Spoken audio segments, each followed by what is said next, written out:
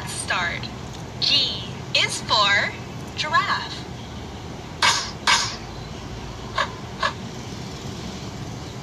G, good job.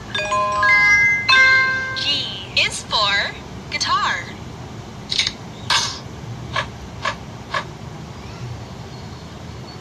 Wow, smart. Wow. G. G is for grape.